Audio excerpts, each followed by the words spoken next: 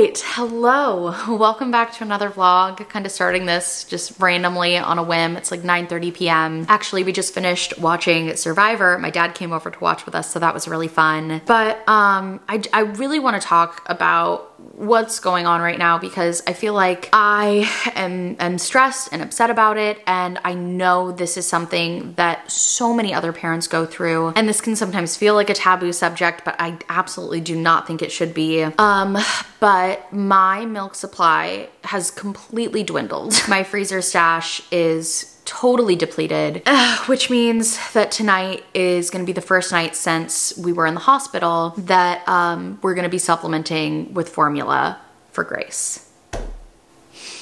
I know there is absolutely nothing wrong with formula. Fed is best. I would never ever in a million years look down on another parent who uses formula or judge them in any way. But when it comes to myself, like I just, I can't help but feeling like I failed in some way.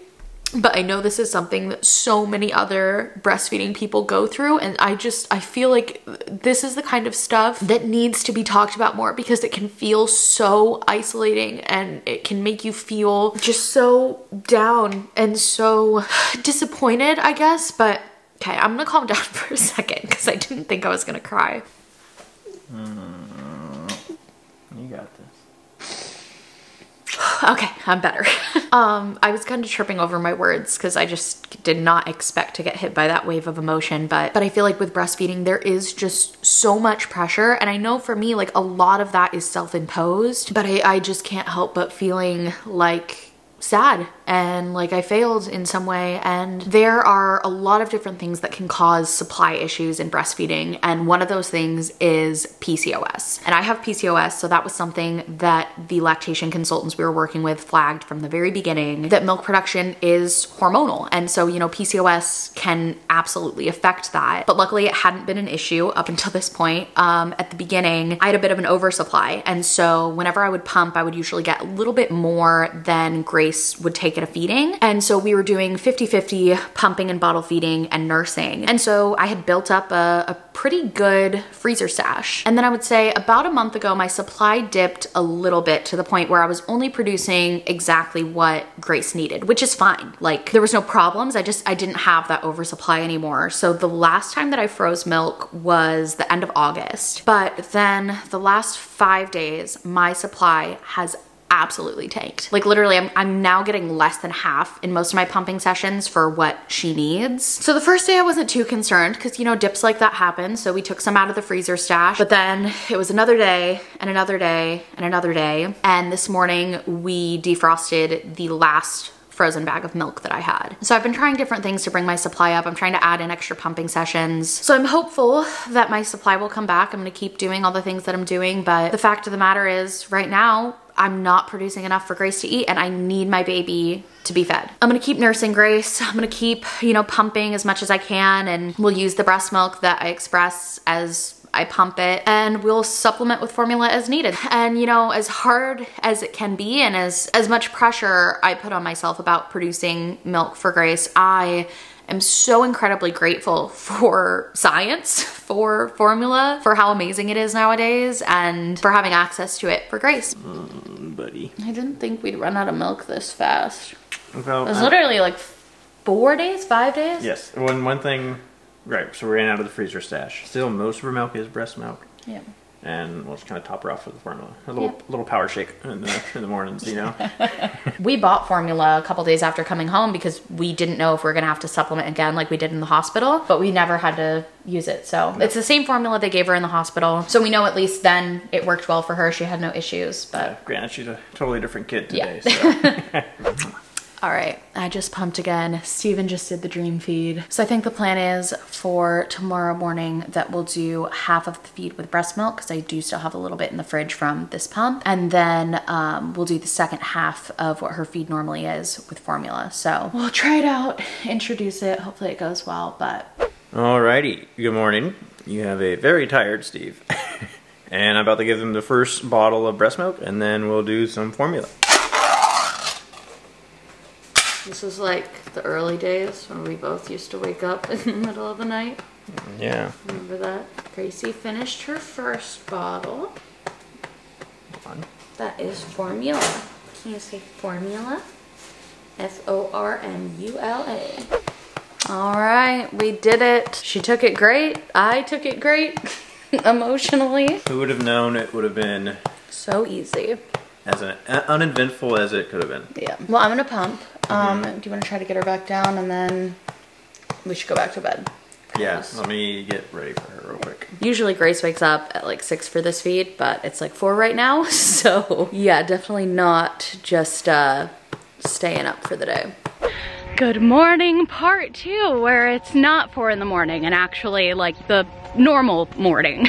Grace and I are doing a walk at the park right now. It's about 9.30. I keep picking up the camera and then putting it back down again because this lighting is just all over the place, but you know what? We're gonna roll with it. Grace's schedule is gonna be a little bit shifted today because she woke up at 4 a.m. instead of 6 a.m. So then she woke up at 7, like ready to eat, ready to play, when she normally would have uh, already been on like her first nap of the day after that 6 a.m. feed. So I'm just gonna follow her cues and we keep her schedule pretty flexible anyways. But right now she is just a happy little camper in the stroller playing with her book. So we're just gonna walk a few laps around the lake here, enjoy the outdoors. If she falls asleep in her stroller, great, she can nap while we walk. And if not, then I'll just probably try to get her down for a nap when we get home. Today is Thursday, and Tuesdays and Thursdays are my combo days where I watch Grace in the morning and afternoon, and then around three or four, I do some filming and some work. I think Tuesdays and Thursdays are my favorite days. I really like having both. Some time with my Gracie girl in the morning, some work in the evening. It's gonna be a good day, my friend and she's asleep.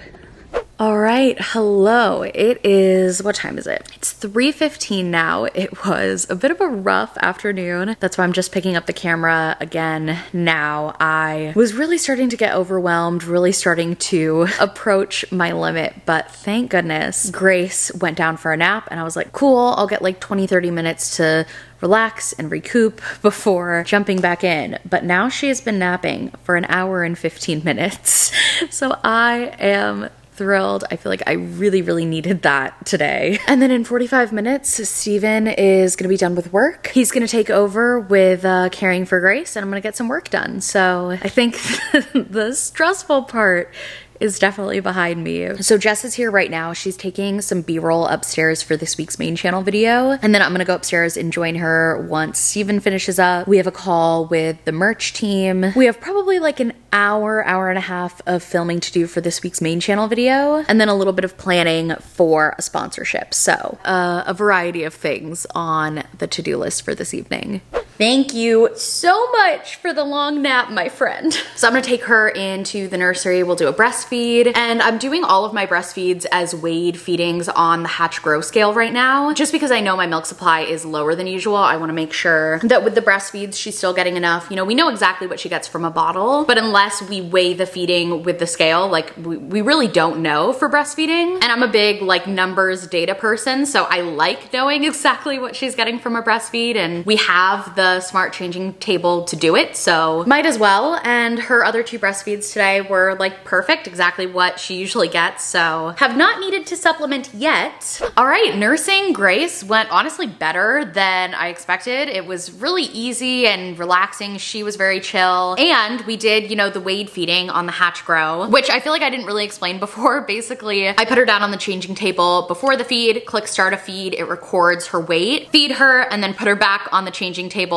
and it records the difference between the two weights. So then that difference is, you know, how many ounces of breast milk that she got. And she actually got an ounce more than she normally does at this time of day. So I'm thrilled. That has not been, that's not been the way it's been the past like four or five days. So I'm hopeful that maybe we're turning the corner and my milk supply is gonna start coming back up again. But um, Stephen's with Grace now in the nursery. It's time for me to start transitioning into work mind, which might be a problem because, oh my gosh, I am just, I just feel so exhausted. I feel like men mentally drained, really. Like I'm really gonna have to pick up the energy for the main channel filming. Otherwise, there's gonna be an obvious uh, shift in my demeanor from the stuff that we filmed yesterday and the stuff that we're filming today. So I'm having my second coffee of the day, which might seem weird drinking out of a red solo cup, but it's not actually a red solo cup. It's just a cup from the musical Be More Chill. But I need to get a little little extra caffeinated. I don't usually drink coffee this late in the day. Also, I need to figure out something to do with my hair because it is uh, very Hermione Granger chic right now.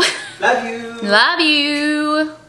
So Jess and I just finished filming a whole bunch of b-roll for the main channel video and then also some sponsored Instagram stories. And I realized right as we were about to like move on to the next thing we're filming, in multiple frames on the sponsored Instagram story, I said to swipe up, but Instagram no longer has swipe ups over the past, I think like two weeks. They've been phasing it out where instead you like click a link on screen. And I knew this and I made a mental note of it before filming and then I just forgot and slipped right back into saying swipe up to check it out because that's what I've been saying for like years. So I had to change back into those outfits for those frames and re-say the Instagram story saying click the link instead. The most influencery of influencer problems, but nonetheless, it is now fixed. Also, we had our merch meeting and I got some bad news, which I'm not gonna lie, I'm pretty bummed about, but honestly, like it's it's just the way it is right now with COVID. There are a lot of COVID related manufacturing delays in so many different sectors, but like the clothing and apparel industry is one of them. And basically, if you've been following along with kind of the updates we've been giving about my merch,